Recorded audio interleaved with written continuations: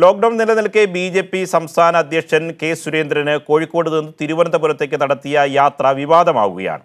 പ്രധാനമന്ത്രിയുടെ വാക്കിനെ ധിക്കരിച്ച് പത്രസമ്മേളനം നടത്താൻ വേണ്ടി മാത്രം തിരുവനന്തപുരത്തെത്തിയ സുരേന്ദ്രന്റെ നടപടി ബി ജെ പിക്കുള്ളിലും എതിർപ്പിന് വഴിവെക്കും. ഇത് ആയുധമാക്കാനാണ് എതിർ ഗ്രൂപ്പുകളുടെ ശ്രമം.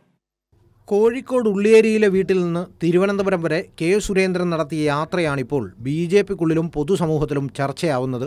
എല്ലാവരോടും വീട്ടിൽ തുടരാൻ പറഞ്ഞതിനു ശേഷം ഭരിക്കുന്ന പാർട്ടിയുടെ സംസ്ഥാന അധ്യക്ഷൻ തന്നെ അത് ലംഘിച്ചതാണ് പൊതുസമൂഹത്തിൽ ഉയരുന്ന ചർച്ച. പ്രധാനമന്ത്രിയുടെ വാക്കിന് വില കൽപ്പിക്കാതെ നടത്തിയ യാത്ര ബി ജെ പിക്കുള്ളിലും വിവാദമായി കഴിഞ്ഞു. കെ സുരേന്ദ്രന്റെ യാത്രയ്ക്കെതിരെ മന്ത്രി കടകംപള്ളി സുരേന്ദ്രന്റെ പ്രതികരണം ഇപ്രകാരമായിരുന്നു. അവർക്കൊക്കെ എന്തുമാകാം? വില കുറഞ്ഞ രാഷ്ട്രീയം കളിക്കാനാണ് നിൽക്കുന്നത്.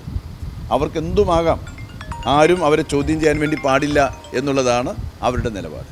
എന്നാൽ കെ സുരേന്ദ്രന്റെ യാത്രയെ പരസ്യമായി വിമർശിക്കാൻ പ്രതിപക്ഷ നേതാവ് തയ്യാറായില്ല. പകരം യാത്രയ്ക്ക് ഡി ജി പി അനുമതി നൽകിയോ എന്ന് വ്യക്തമാക്കണമെന്നായിരുന്നു അദ്ദേഹത്തിന്റെ അഭിപ്രായം.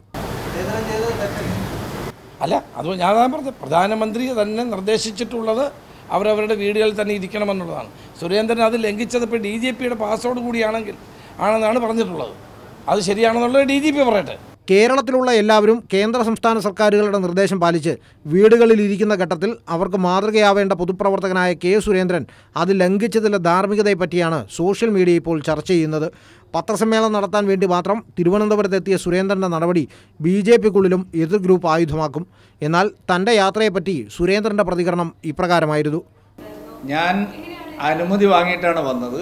ഡി ജി പിയോട് സംസാരിച്ച് ജില്ലാ പോലീസ് സൂപ്രണ്ടിന്റെ കത്തുമായിട്ടാണ് വന്നത്. എനിക്ക് അടിയന്തരമായിട്ട് തിരുവനന്തപുരത്ത് വരേണ്ട ആവശ്യമുള്ളതുകൊണ്ട് ഞാൻ കൃത്യമായിട്ടുള്ള അനുമതി വാങ്ങിയിട്ടാണ് വന്നത്. News bureau Thiruvananthapuram.